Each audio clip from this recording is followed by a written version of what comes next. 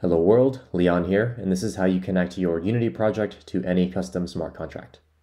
So in this example, we have a contract called add total. There is a public variable called my total and a function called add total. You can pass in an argument and that will increment my total um, by that number that you pass in. So the first step is to deploy. So under deploy and run transactions, Select your environment. I'm selecting Injected Web 3. The network is Rinkeby. Select the contract that you want and click Deploy. I've already deployed, so I'm going to click Reject. But once you do, you should have a contract down here called um, Add Total. The address is 0x728. Next, I'm going to connect this contract to my project. So in Unity, there is a folder called Web3 Unity Prefabs EVM.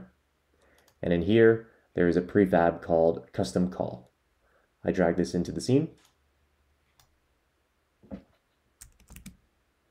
And in here, there's a script called Custom Call Example. I'm going to open the script. And in here, it's using the add total contract example uh, previously deployed. Next is to fill in the blanks. So currently the chain is Ethereum, the network is Rinkeby, the method is my total, so my total is coming from here, my total, and the ABI. So to get the ABI, go to Solidity Compiler. To the bottom here, there is the ABI you can copy. Click copy, paste it in here, and make sure to have a backslash in front of the double quotes.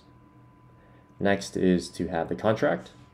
So it's 0x728, 0x728. There are currently no arguments.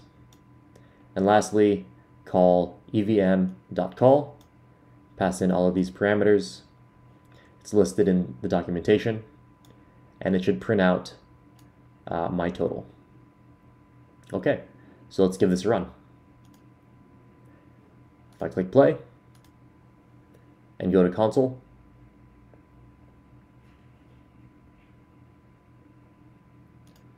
my total should be 4. And that's how you do it. Thank you.